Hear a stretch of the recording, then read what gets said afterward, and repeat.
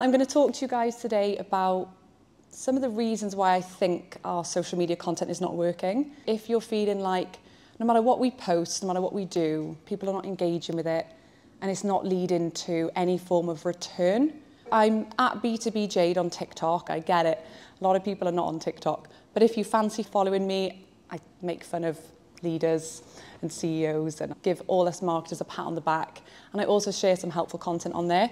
My podcast, The B2B Marketing Gap, you can check out as well. Tons of advice on there, strategies. What's interesting about my business and for today is that my entire business is 100% inbound, only from social media, zero selling whatsoever for me today. We're not going to talk about me and what I've done for the whole presentation, but I just want to set the scene so that when I'm given the advice on the steps that I would put in place, if I was in a B2B organization, this is what I would do building from what I've done on my personal brand. I went through a bit of a crazy time back in 2015. I'd been working in a really big corporate called DS Smith PLC who were amazing. I was heading up the international marketing team and I decided that it was time for a change. There was a lot of traveling pre-COVID. I joined a local firm as a marketing director and it didn't go to plan. I decided to leave, set up my own business, started to build my profile on LinkedIn and then I had kids and I fell into a dark hole for about two years and was nowhere to be seen. So I basically was nobody again. The algorithms forgot me. I was overcoming all sorts of things after having kids, postnatal anxiety, everything. When it came to about 2018, 2019, social media was not really a thing for me. Come into 2020, 2021, I'm doing a little bit on LinkedIn, but it's not really doing much. I decided to set up a TikTok account because I thought, well, actually, Instagram is pretty saturated. Why don't I try a new platform? Why don't I see how it goes? And it turns out it agreed with me. Today, I've got coming up to 30,000 followers. I've had some brand deals with Adobe and Pipedrive and a big hotel chain.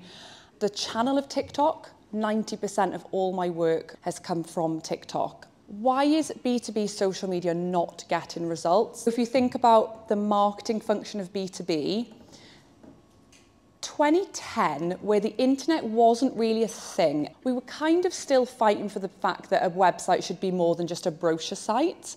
Back in 2010, and SEO was coming through, and social media was like, what? The main crux of growth was a salesperson selling to a prospect. And so naturally, marketing were the support function to create collateral to make it more likely that the salesperson would close the deal we've kind of stayed there. I think that's what's happened. B2C don't face it as much because they always were fragmented away from the end customer. In most cases, they had to rely on marketing to get in front of a customer. Whereas B2B, traditionally, we were supporting the sales function. Marketing are suffering with two things. One, we are still being treated as the sales support function. Tasks, do the tasks, get the website page updated, get a new landing page, send out a campaign tomorrow, do this brochure in seven languages by next week, blah, blah, blah, blah. And then bang, why aren't we getting leads? You're in charge of getting leads. Why aren't you getting leads? Because I've been doing all the stuff you're asking me to do. I've just been completely on the task wheel. This is what I'm hearing every day on TikTok, thousands of comments. People are exhausted, they're fed up. That's the fundamental reason. But I would say that the big one is and social media. I was imagining yesterday, like if I was at a party and what if this might this might work, it might not. Um, if I was at a party and B2B social media was there, what would they be like? We're going to try and act it out. They walk into a party. Hi, my name is Sam. And they're like, hi, Sam. Welcome to my house. Do you want to see my garden? Oh, um, I'm okay, thanks for a minute. I'm just having my drink. Okay, we've got an attic too. Do you want to go see the attic? It's right up the stairs. Go see the attic. I'm okay for a minute. All right, did I tell you about the garden? Yeah, you did tell me about the garden. I don't want to look at it right now. Okay, well, let me know when you want to see the garden or the attic. Can I have your number? You're fine. You're right, thanks. That is how I see B2B social media. It's like, download this, give us your data, read this, read this, listen to us, listen to us, listen to us. And people are like, they're not, they're not even offended, they're just uninterested. And the frequency is not high enough for them to probably even see it anyway. This is not a diss at anyone in here, by the way, because I've done all this because social media tends to be an afterthought when we've got so much to do. If the good B2B marketing social media was at the party, it would be more like, hey, I'm Sam, welcome to my party, how are you? Oh, I'm good, I've just joined the area. Oh, great, what are you into? Oh, I really like rock climbing. Oh my gosh, that's amazing, my cousin does. We're going in a few weeks, do you want to come too? Yeah, great. Oh, there's also a community you could join. Should I get your number and we can keep in touch and anything you need, let me know. Oh, that's amazing, yeah. That helping back and forth, actually caring about someone. The reason B2B marketers struggle is we're not always close enough to the customer to know what they actually care about. And when we ask sales, what do they care about? They're kind of like, stay in your box, do me a brochure. It's a real difficult conundrum for us. I talk about this a lot on my podcast. It's the name of the podcast, the B2B Marketing Gap. The B2B Marketing Gap is the huge void between leaders and the marketing resource of the business, where strategy should be.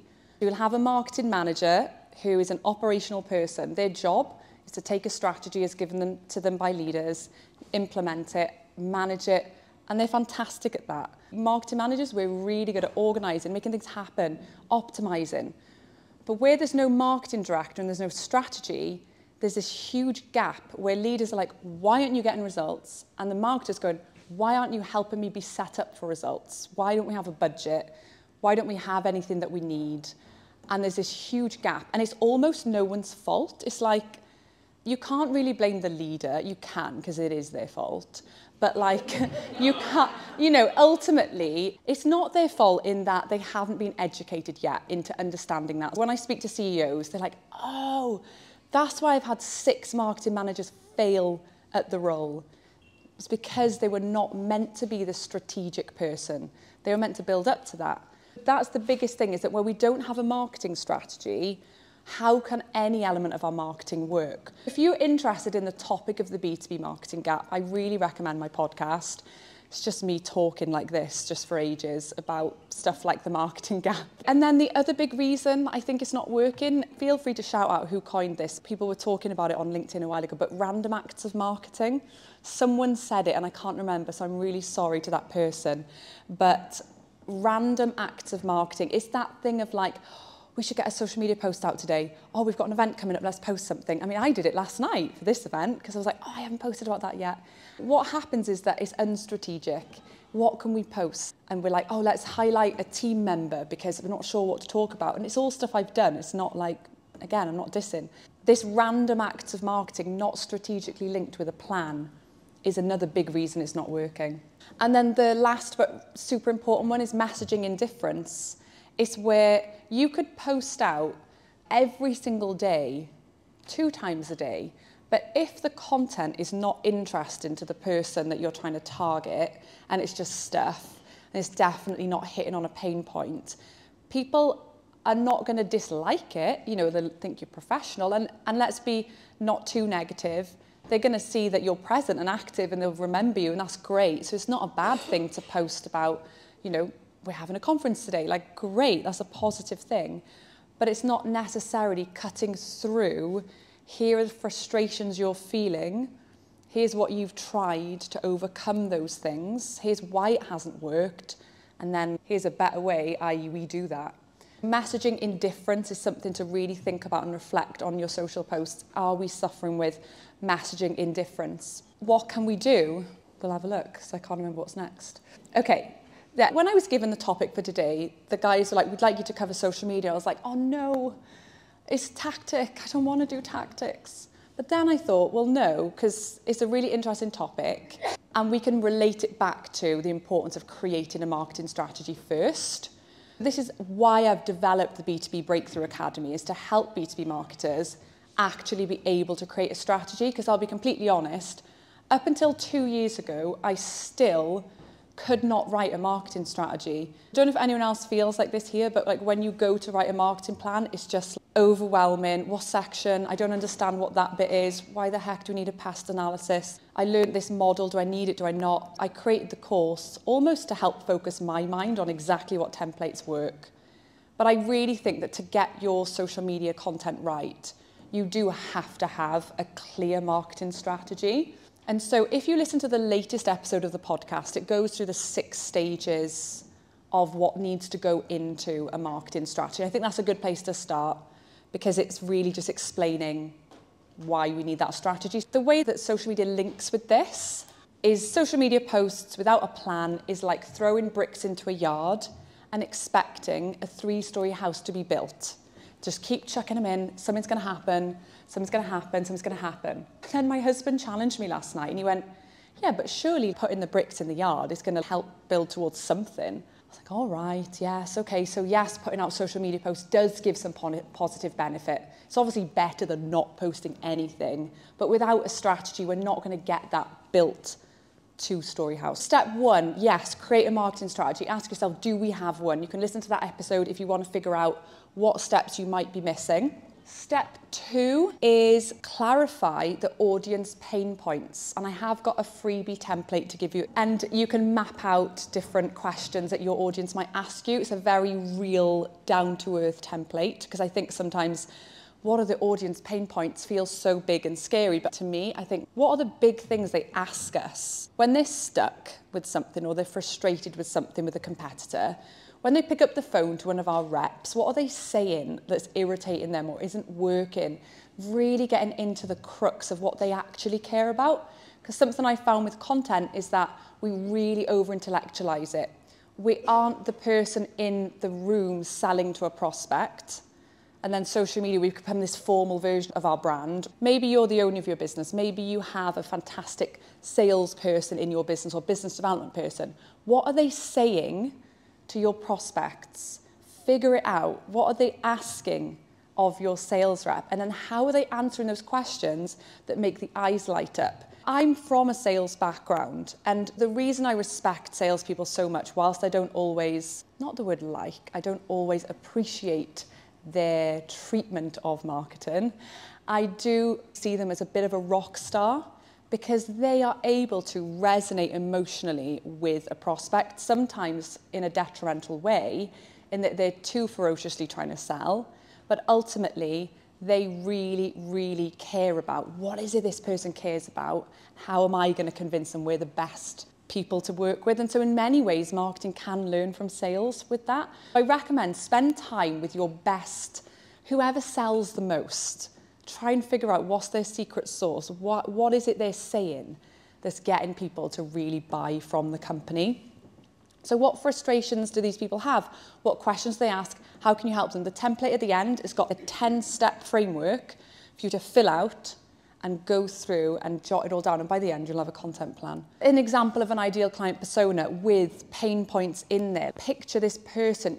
Often I advise people to put a real client in there that they as a marketer have met. Because when you think, this is Sophie, would Sophie care about this? No, she wouldn't read this. Really getting to know your ideal audience, It's not just creating a persona and skipping past it, which I've done. I'll just chuck that in there, that's fine really make sure, do I know this person? Do I need to listen in on some sales calls? Do I need to do something to really get into this person's head? Okay, step three, really nail your brand positioning. And what I mean by brand positioning is this. And imagine a customer is asking this. Why should we choose you over the other options available? The second part is so important because most brands just talk about the first bit. Why should we choose you? And they answer that question over the other options available is what makes brand positioning powerful because the other option could be not doing anything. It could be a competitor. It could be doing it themselves. Highlight in your brand positioning. Here is why we would be the best option for you in line with the problems you're facing to get the solutions you're looking for. There is a podcast episode and a webinar replay through all my links talking about what brand positioning is and I go through the process as well if that's useful to anyone. What we're trying to do, usually people talk about their brand expertise, that bubble there, they just sort of stay there and maybe they go a little bit into where it links with customer needs, but they don't make sure that they're moving away from competitor strengths. They don't figure out how to meet what their brand is really good at directly in line with what their customer cares about and well away from what their competitors are good at and strong at so that we're highlighting what they're very weak at. I really recommend looking into brand positioning because brand positioning fuels your content strategy. Step four, I recommend selecting what you would call pillar platforms. A lot of B2B brands I see are on all of them. And actually, I recommend picking one pillar platform. In B2B, that often makes sense that that's LinkedIn. It's our platform, isn't it? It's where it's meant to be. It's a bit mental that I'm on TikTok, but really it's more of a personal brand, so it makes sense. Pick one pillar platform that you're going to go all in on and you're going to really focus everything around and get really good on. And then repurpose to two to three channels. And I will explain a repurposing plan in a minute. I really recommend that because then you're not overwhelmed by channels and actually the fewer you're on, the better success you can make of them. I recommend it in order LinkedIn, X, Instagram probably before Facebook. I do think Facebook could be really good for B2B going forwards. And then TikTok, honestly, I don't recommend TikTok for B2B right now unless you really can go for it and you have a person who is a real subject matter expert and you can get out a lot of content, but it's definitely one to play around with.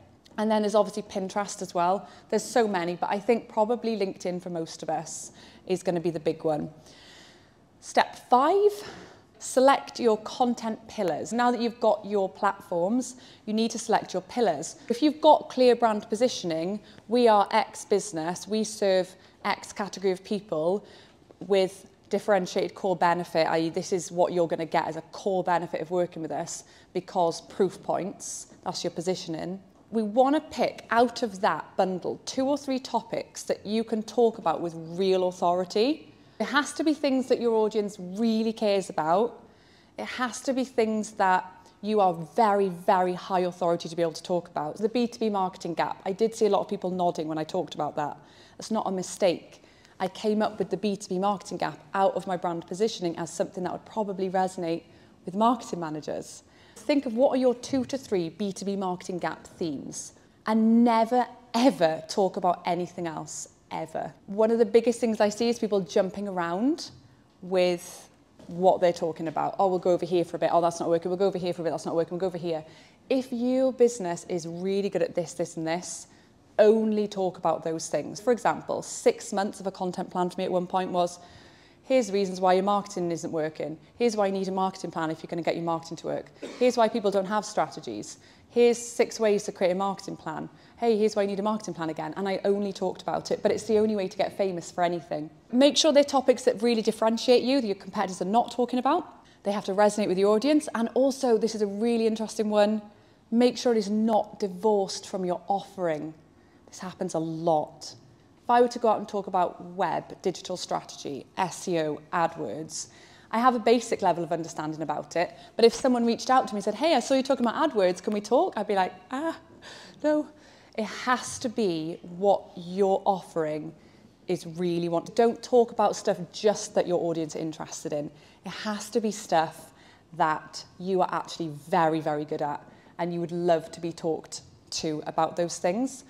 When you're trying to get this out of your leaders, what these should be, your best salesperson or your MD, if they were stood on a stage and they were talking in front of a thousand industry experts who worked in their industry, what would they feel comfortable to talk about? And no matter what someone asked them, they'd be like, I've got this. That is your content pillars. Because if I stood up here and talked about AdWords, I wouldn't be wanting questions from these guys because I wouldn't feel confident in it. Okay, right, this is a heavy one. This is our content 10-step process for B2B companies. This is what I do, and this is what I would do in a B2B company if I wanted my social media content to work. Step one, I would have a lead magnet for every quarter of the year or every four months, something like that. For each of your content pillars, so you know the two to three themes that you can really talk about with authority, have a lead magnet for each of them. Have a high value piece of content like a how-to guide with a video training attached with it. For each of those three things, have a really high value piece. I would list out the top 10 questions that we can answer with authority You can ask your salespeople, what are the big questions that our prospects ask us? List them out, so basic. And the template you're going to get at the end literally has this format for you. Choose a question every two weeks. Answer the question with a piece of long form content. Long form can be a blog, it can be a video, it can be a podcast. I recommend get some decent-ish equipment. Film a specialist in your business answering the question, but just chat to them. Like, all oh, right, we're gonna have a little chat. Got the tripod like I've got here, the little mic. This doesn't feel freaky. I'm filming this now, ready to repurpose later. Film them, get them in the zone, get them chatting to you as if you're a prospect. It's gonna be awkward for a while. Just talk like, hey, can you tell me what are the biggest reasons our customers aren't seeing success? Just chat. They'll get into their flow. Film a specialist. Then edit it down in a tool called Descript. Upload that piece of content to a YouTube channel and a podcast. Repurpose it into two or three blogs. There are AI tools now that you can take the transcript of the podcast put it in, ask it to create a few blogs. Obviously, you need human oversight with AI and turn it into blogs that you can put on your site. SEO experts will tell you we need regular, relevant content. Within every single asset that you create, always direct people to your lead magnet. You've got a YouTube video, download the full report here. Join our next live webinar here. So a lead magnet could be a webinar, it could be anything. Repurpose and break it down into short form videos. Let's say you've got a, a 12 minute video of your expert break it down into 60 second sound bites, put it into a format for LinkedIn, write a bit of a post, publish. For the full video, here's the YouTube. For our next webinar, here's a link. For our lead magnet, here's the link, whatever you want to do. Every day, every day, five posts a week on every platform you have. But if you see when it's strategic, it's not as scary because it means you're just creating a couple of videos a month and repurposing them. Craft social posts linked to long form, do not give up, six to nine months keep going, six to nine months. This was my process, one to three months. Why am I bothering? No one's engaging. This is so cringe because I was a TikToker. It's really challenging creating content. I'm no good at this. Three to six months. Oh, people are starting to mention they've seen my content. Hmm, maybe it's going to work. No customers, no return. Why am I doing this? Six to nine months. Whoa, I just got a client. They said they found me on TikTok. That's bonkers. And they binge listened to my podcast and now they trust me all of a sudden. People would come on coaching calls and say, thank you so much for taking the time to speak to me, Jade. I'd be like, what? You're paying me? That was the real difference with the content nurturing them. They were thanking me. It was wild. I wonder if anyone else is going to do this. And then bang, six more clients came in the door. Found you on podcast on TikTok. Been listening to your podcast. You're talking about everything I needed. Can I have a session? Can we work with you? Nine to 12 months. Okay, I can't handle this. There's too many clients. So now I'm launching the one-to-many course, the B2B Breakthrough Academy. So I can coach 100 people at a time and actually help people where I wouldn't have been able to. I want to leave on a couple of things here. The power of dark social. If you haven't really heard or looked into dark social just yet, I recommend that you do. Buyers have changed how they buy and it's never going back.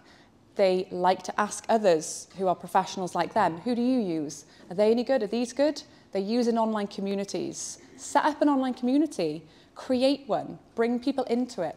That can be your lead magnet. Join our free community. There's loads of finance directors like you helping each other. Okay, I'm just going to mention, in terms of your content split, I recommend that 10% of your posts are selling your service. This is a product. We sell this. Here's who it's for. 50% of your content needs to be about everything we just talked about, how to overcome problems. Share examples of your work 30% of the time. I'm not saying don't do the case studies. It's great. Case studies are brilliant, testimonials. And then 10% of your content should be culture posts. What's the team up to? A lot of social accounts only do this, and I've done that too, because my marketing team, we didn't have access to the good stuff. So we're like, uh, here's our Christmas tree, um, we've got pizza this lunchtime, like all good stuff, but just we want to add to it. Do take inspiration from the best social media people in the world, influencers not other B2B brands. Look at what influencers are doing. Look at what subject matter experts are doing. A lot of the time now, CEOs are building personal brands. Help your expert feel at ease. That's a big one. Help them feel like this is just a chat. This is not content. I just want to talk to you about our customers. The camera's on. Forget about it. I've forgotten about that camera now. Just forget about it. Because it's like this, oh, create content. Everyone goes, oh, we're making content. And it's, it's just not that big a deal. Okay, so there's a few tools here Scheduling tools, Metricool, Planable or Hootsuite. Descript is amazing. It will shorten word gaps. It'll take out what's called the millennial pause, where someone presses play and then goes, I'd like to talk to you today about, so we need to get rid of the millennial pause in all our content. We need to delete the ums, the ahs, the kind ofs. If you look at my TikTok, you'll notice how highly edited it is in Descript, because I'm like bang, bang, bang, bang, bang. ChatGPT 4, like use it. We've got this co-pilot. It's revolutionizing Everything is making me able to do 20 times more. I think how I've used ChatGPT-4 in the last six months would have cost me about £100,000 if I were paying people. The prompts are what makes it. And there's the QR code. If anyone wants the template, when you scroll over that, it's going to take you to a link and basically it's a download. It'll download and you can fill it out. I really appreciate you listening to me. If you want to learn more about what I'm doing, you can connect with me on LinkedIn, Jade Tambini, or B2B Jade on TikTok, Instagram. And there's a link in my bio with everything to find out about me. And I haven't breathed the whole time. Thank you very much. You mentioned LinkedIn being priority for B2B brands. Yeah. Obviously, yourself, you specialise in B2B, but you've done very well on TikTok. Is that Uh, that's such a good question. The reason I'm on TikTok is like weird. I was just like, oh, let's just see how this goes, and it happened. TikTok is so hard to break. You have to be super excited by it and like bring that energy. And so I think it's a personality match for me. There's other platforms where you can go really hard with good content and it works no matter what. But TikTok seems to be this weird thing where like I know amazing creators on there who have been posting consistently for so long and they're still not getting that much traction. Whereas on LinkedIn, I think if you post relevant stuff that's going to help your audience consistently, you just do start to grow that following. With TikTok, what I found is that I'm a new creator pretty much every post. It does not care about my follow account. So if it's not a good video, I will get five likes. And if it's a good video, it'll go viral. So it's really, it's a hard push. The audience demographics, so 50% of my audience are above 35, which I find interesting that people think is super young people. I think TikTok's a good one for experimenting with as a secondary one to see, but I think we can't hide from the fact that LinkedIn is the professional network. You can use Sales Navigator on there. Nine times out of 10, if you search all of your client list and all of the people you want to work with, they're going to be on LinkedIn. And I think that's why I can't really move away. And also you have to remember that my audience are marketing managers now. That's who's been finding me on TikTok is marketing managers, which are very different than like C. That answers it. Yeah. What role do you think a LinkedIn business page has in LinkedIn? Because sometimes I struggle with clients who really want to keep posting on their page, and I'm trying to encourage them to post personally more. And I just wondered what your thoughts were on LinkedIn business pages. The personal brands tend to perform better, don't they? Because they've got all the connections. What I like to do is get marketers to kind of take control of the subject matter experts page, so they've got a login as well. If you craft a page post, get as many people as possible to share it, comment, like, repost, because that's always good. Then also have a version of that posted by the leader, of the subject matter. Say you identify six people in the business who have really good network, they've got a great profile picture, good call to actions, write them for them and either post it for them and then get everyone else interacting. I think using both, you have to have a, a company one, don't you? Because it's unprofessional not to, but you're right to be pushing people to share and repost and things like that. You can also test out organic content, what works best, and then put ad spend behind it. I always recommend that as like, I've got a post that went viral on TikTok and it also went viral three times on LinkedIn. And so something I need to do next is, is recreate it professionally with a call to action at the end so that it drives actual revenue rather than just, I was in my hoodie in my living room, like sat there like that on TikTok and it went viral. But if I'd known it would go viral, I would have like had a call to action like, hey, sign up now for this or whatever. So that's a good word is see what performs organically. Well, thank you. Thanks. Well, thank you very much. Thank you very much, guys. Sorry, I would have left more time.